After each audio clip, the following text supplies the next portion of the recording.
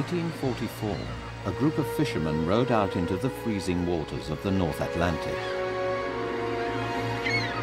Their destination was Eldey, a giant sea stack 13 miles off the southwest coast of Iceland.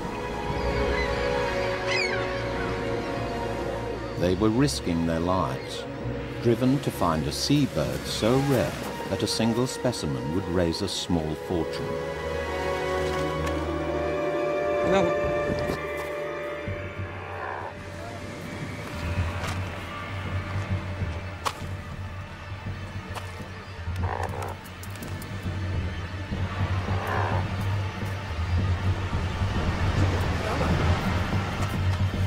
Clumsy and flightless, once they spotted it, the bird was doomed.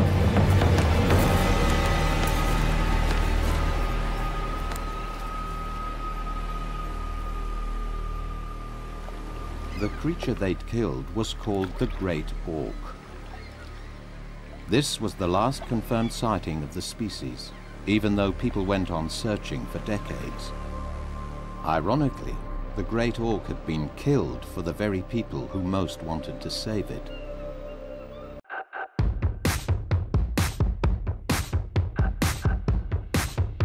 Watch on mobile devices or the big screen, all for free. No subscription required. Download Veely now.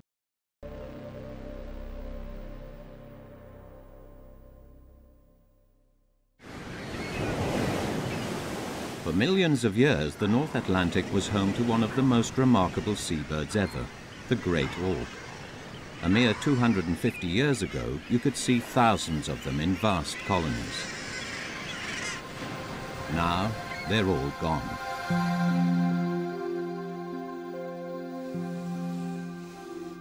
Today, the only great auks that remain gather dust in Victorian museum collections.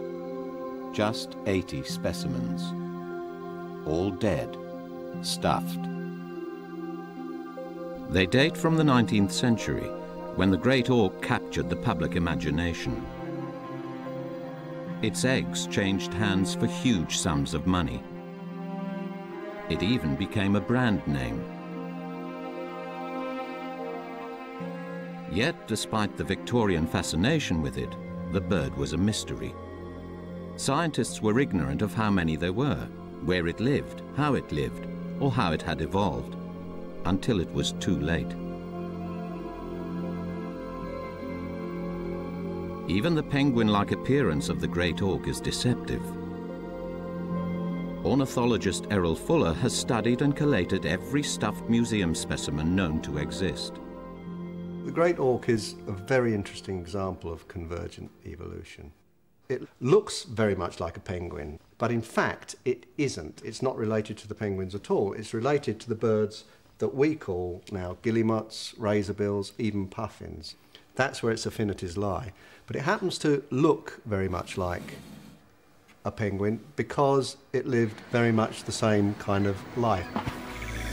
The auk was larger than the average penguin, and it was a far superior killer. No penguin ever evolved such an effective weapon. A beak, long, sleek, and sharp enough to slice through prey in a single bite.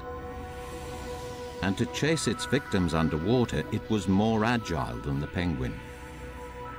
At the top of the bird, the beak is compressed so that that doesn't offer much water resistance. Then the bird is generally beautifully streamlined. This bird would have been superbly sleek and hydrodynamic with very small wings so they don't resist against the, the pull of the water. And when we get to the, down towards the bottom, the feet are, are thrown very far back. All those things conspire to make this bird like a torpedo in the water.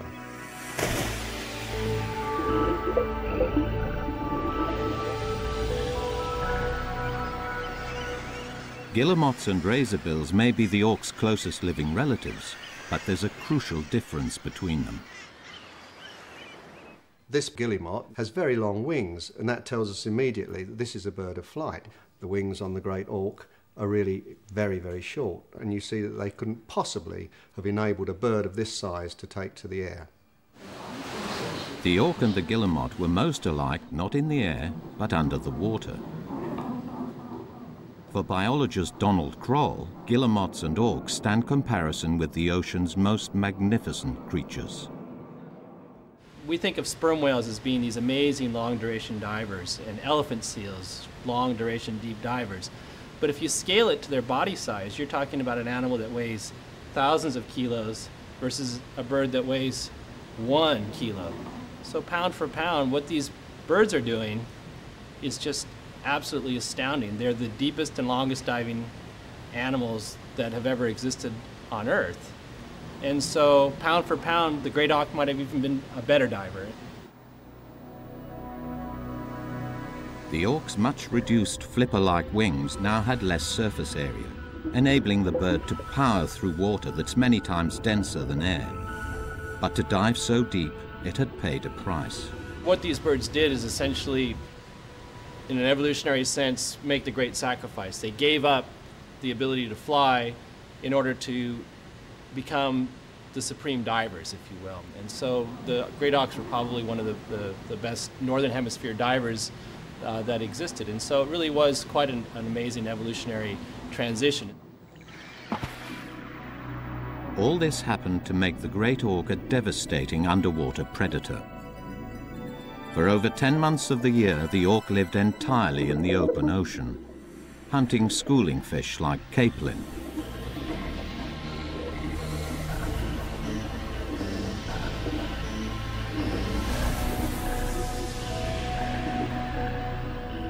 But the flightlessness that made the great auk such a successful underwater hunter also made it uniquely vulnerable. On land, the bird was clumsy and highly at risk from any predator that could get near it. Its only defense was to live as far away from predators as possible, and that wasn't easy. The great auk, of course, was the northern hemisphere's last flightless seabird, and uh, their flightlessness made them vulnerable on a number of levels. One is that they had to breed in areas where they could come ashore without having to fly ashore. So they had to be able to come ashore in some place where there was a beach, and that kind of limited where they could breed.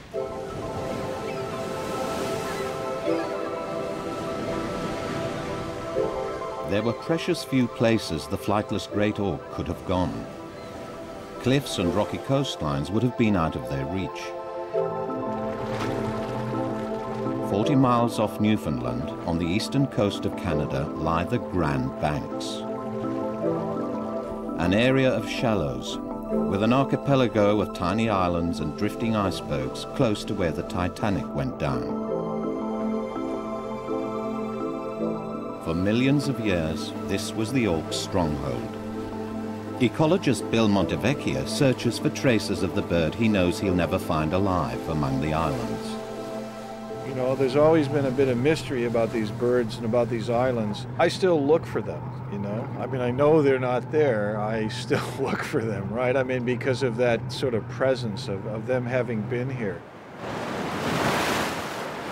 Look at these islands here. They're flat. They're just like pancakes. And this is a perfect island for a flightless bird. This is the kind of island that Great Auk had to have. Isolated and uninhabited, the auk lived here and nowhere else along the North American coast, undisturbed for millennia. But 500 years ago, it suddenly came under attack. In here is a skull of a great auk that I dug on Funk Island. This is the, uh, the beak. Quite uh, incredible, powerful beak. This, was all uh, one piece that actually subsequently fragmented. There's a few cracks in the cranium of the bird here. It might have been where it was uh, banged over the head. Out here, only one predator could have done this man. In the 16th century, explorers set off from all over Europe to cross the Atlantic in search of the New World. Frenchman Jacques Cartier was one of them. After sailing for months across the uncharted ocean in search of the Northwest Passage, his ship came across these islands. For the half-starved crew, what they found here proved a godsend.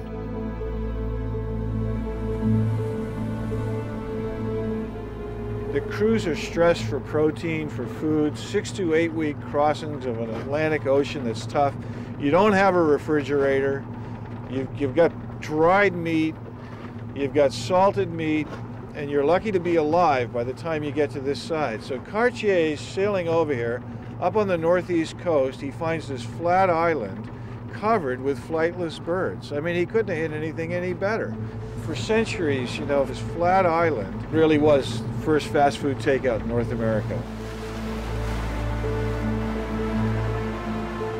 Hunted for food, the great auk suddenly turned from predator to prey. Yet its extinction is no open and shut case. Ultimately, was man the scientist more to blame than man the hunter?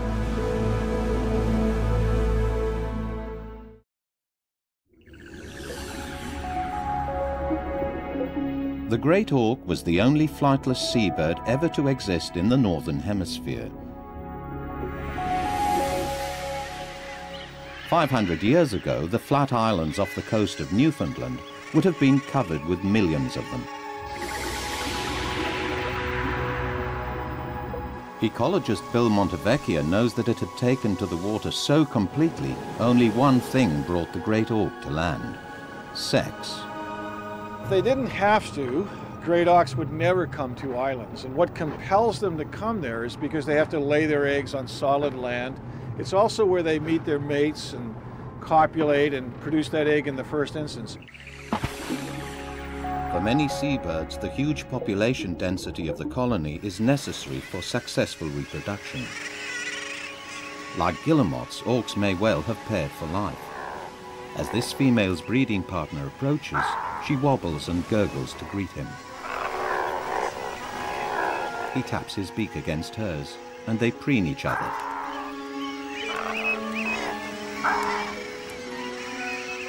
They'll incubate the egg for about 40 days, taking turns to keep it warm while the other one looks for food. The swap over is a painstaking business and can be perilous.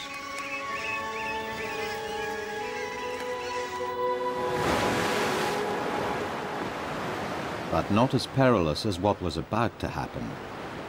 With the arrival of hungry sailors, the great auk had to cope with a threat that evolution had not prepared it for.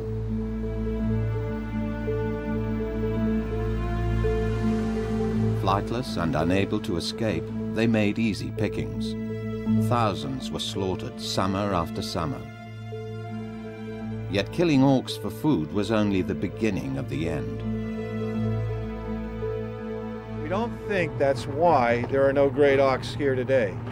We think it was a systematic killing that occurred in the 1700s when crews of men went there to live there, to stay there, to slaughter these birds for a very specific reason. That reason was fashion. 200 years after Europeans first arrived, the killing changed gear as hunters switched their attention from food to feathers. Auk feathers were sold to make mattresses and even became fashionable in ladies' hats. Thousands of birds were captured, killed, and dumped into cauldrons, where they were boiled just long enough to make their feathers easy to pluck. In the thin covering of soil on the islands, Bill has uncovered physical evidence of the carnage. Got uh, some metal uh, pieces and plates that were pieces of cauldrons that perhaps were used to, uh, to parboil the birds to get to the down underneath the waterproof feathers.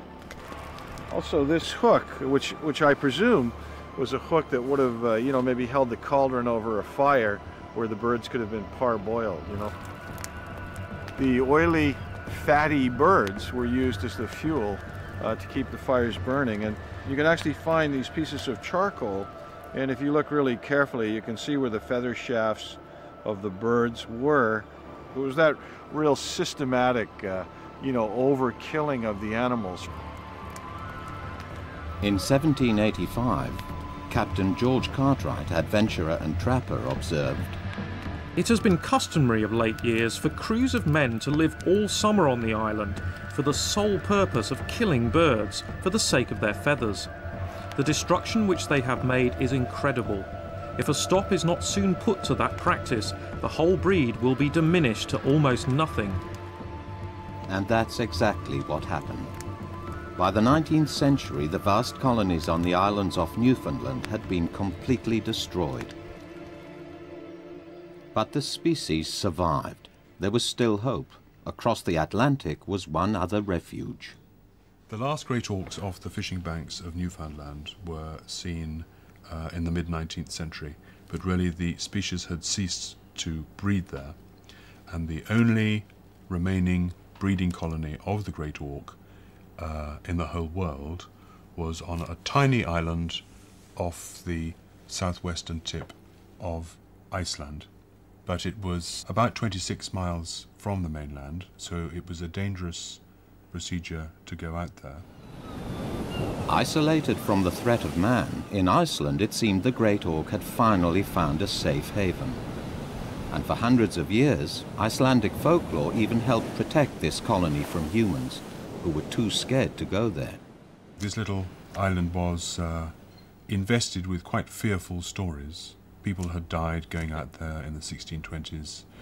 There were stories going back to the 14th century of somebody who lived there and survived a winter, refused to tell anybody how he'd survived. So the story grew up that he'd been looked after by the Hilda folk, who were these uh, fairies and ghosts. These haunted islands protected the birds, but then nature, not man, dealt them another blow. In March 1830, an undersea volcano erupted. The Auk's refuge exploded and disappeared beneath the waves. But even the hand of nature couldn't drive the Auk to total extinction. About 40 pairs survived the eruption. The birds had one other place that they could breed on, which they never had bred on, because it was 13 kilometers nearer to the mainland and not ideally suitable. But this was the one that they chose after 1830. The bird really didn't have much chance of survival once it had uh, chosen a breeding site that was so near to the mainland. This last haven was Eldey, and the Auk sought refuge here just as scientific interest and sympathy for its plight was growing. Yet at this time, the study of natural history meant collecting and classifying, pickling, preserving, and stuffing. The rarer the Auk became, the more sought after it was. This was the golden era of natural history collecting when every gentleman worth his salt would feel the need to put together a large collection of natural history items stuffed animals, stuffed birds, birds' eggs, and at the same time, the great institutional museums of, the world were becoming interested in natural history specimens. So the Great Auk, of course, in its declining years corresponded with just these years when this great surge in natural history collecting was taking place. But in their enthusiasm for collecting, Victorian scientists neglected animal behavior and failed to understand that with the loss of the Auk's breeding colonies, it was already on the very brink of extinction. Once the numbers fell below a certain level, even though that level may have been quite considerable, the bird was doomed. And we can almost test that because if this had been a bird that could have lived in threes and fours, sixes and sevens, tens and twelves, it would still be among us today because it could have always found little lonely coves, lonely islands in the North Atlantic where just a few individuals could live. The fact that we don't find it today is proof, surely, of the fact that this was a bird that could only live in colonies of large numbers. This was a fatal misunderstanding, because now, in their ignorance, Victorian scientists unwittingly pushed the great auk to its final extinction. On Eldey in 1844, the hunting trip was undertaken at the request of a keen Danish collector of rare birds and their eggs, Carl Siemsen. One of dozens of dealers across Europe, he believed he was furthering the cause of scientific knowledge as well as making a handsome profit. Birds like this one, and all the ones we see in museums, almost without exception, were caught on the island of Eldey. They were caught by Icelandic fishermen who landed on the island with a certain amount of difficulty, actually approached the bird, grabbed it because it was so helpless on land, unlike in the water, probably wrung its neck there and then on Eldey, took it back to their fishing village, skinned it, ate the body, and then sold the skin for comparatively small amounts to traders in Reykjavik, who then sold them on to museums in Europe. By 1844, far from providing a refuge, Eldey was more like a prison, where the last remaining breeding pair of auks awaited the inevitable.